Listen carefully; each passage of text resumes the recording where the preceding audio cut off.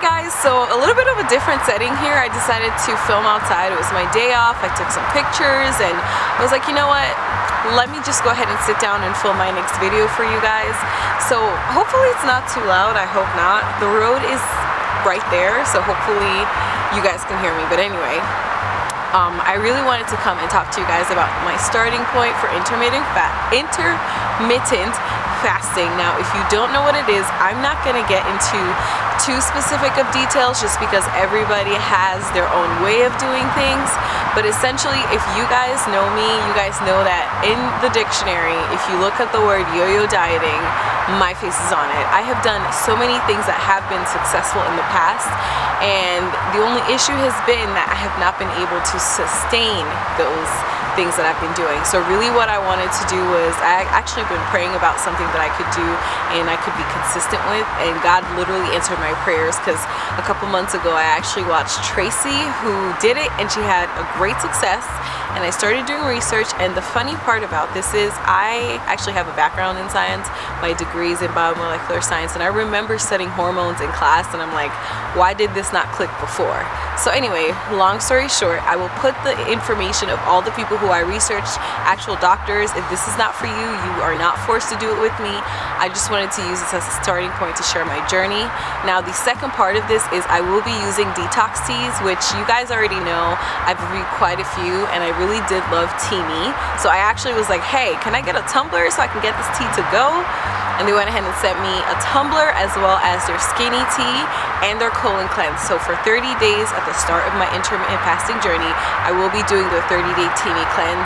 Um, I will link a link, link a link, I link a link. I'm gonna put a link to my last video, my last results. As you can see, this tea is amazing. It really isn't about the weight loss for the tea though. It's about cleansing your system and just making sure that your everything in, inside is as healthy and as good as it is outside. So those are the two things that I'm going to be doing. If you want to know specifically what kind of fast I'm doing, I'm specifically doing the 16 and the 8. And so what's going to happen is I'm just going to do that all month. Every now and then I like to push it a little bit more and do the 420 20 and 4 yeah. But really 16 and 8 is where I usually range so I don't eat anything after 6 and then I just count 16 hours after that and eat in the afternoon the next day. So that's pretty much it. I will be coming back to show you guys my results. And the other half of it is I will be putting up little videos of what I eat in a day so you guys can get an idea of exactly what kind of foods I'm putting in my body. And I'm really not about the restriction anymore. I do want to eat clean things and eat more on the keto side of things but um, I haven't quite yet gotten to full keto. So I'm just gonna reach ketosis with intermittent fasting and then hopefully I'll be able to add in just a purely ketogenic diet or maybe do some carb cycling. But if that's all gibberish to you I will put Thomas DeLauer below Dr. Berg amazing. And actually Vanessa Blanco I actually met her. She's amazing. She does a lot of powerlifting as well. So I really kind of want to get into all of that and just do a little bit more in terms in when it comes to like the wellness and the fitness piece of it. So I will put all the rest of my videos below. If you have not subscribed, go ahead and hit the subscribe button, hit the bell button so that you can catch up with me and my updates. And if you want to see what I look like right now, I guess I should do like a little, let me show you guys. So this is me. Starting point.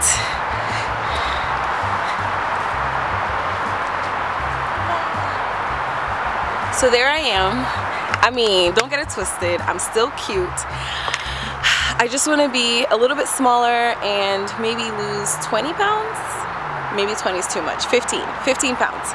So anyway, thank you guys so much for watching and I'll see you on my next video. Good morning all. So I'm here to do a quick what I eat in a day for intermittent fasting. It is the morning time.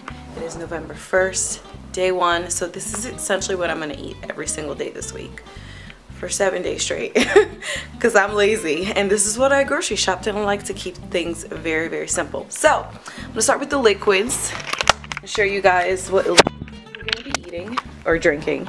So this right here is just apple cider vinegar and some lemon. Um, so the apple cider vinegar I use is either this one which is Bragg's or I use this one which has um, also has the mother. You got to make sure that it has the mother. So yes it also has the mother. And um, this one also has pomegranate and hibiscus. Um, I have coconut water here because at the end of the day, not during my fast, okay? At the end of the day, I do drink some coconut water. I probably drink this uh, maybe within three days just because I don't want to drink the whole thing.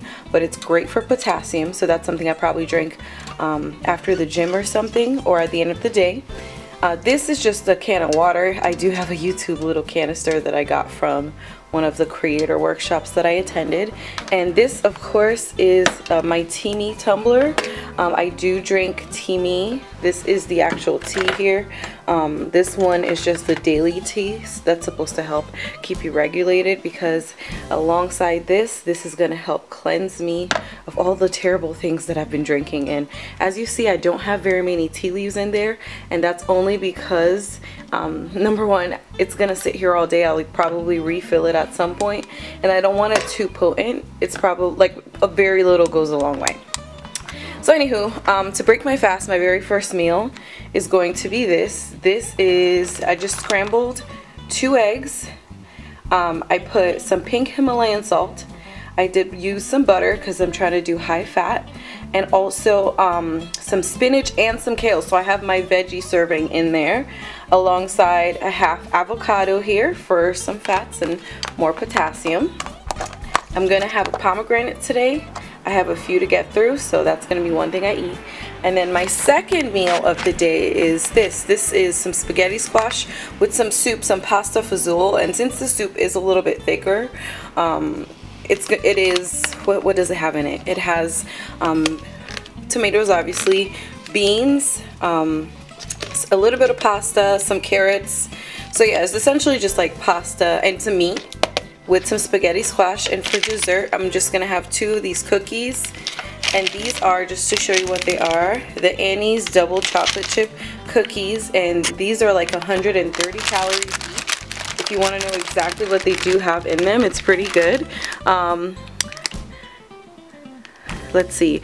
Total fat 7 grams. Saturated fat 2.7 grams um, the carbs are only 14 grams um, and then only 9 sugars so the reason why I like these is because, and I like to keep carbs in, is because I will be working out every single day this week, so I do want to keep carbs in my meals, uh, but the idea really is to keep it low.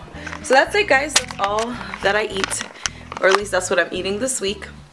I hope you guys enjoy this small little video and next week I'll probably do another one of these just to show you guys how I switch it up so I have a little bit more variety while I'm doing intermittent fasting. But that's it. Thank you guys for watching. Time to go to work for me and I'll see you in my next video. Bye!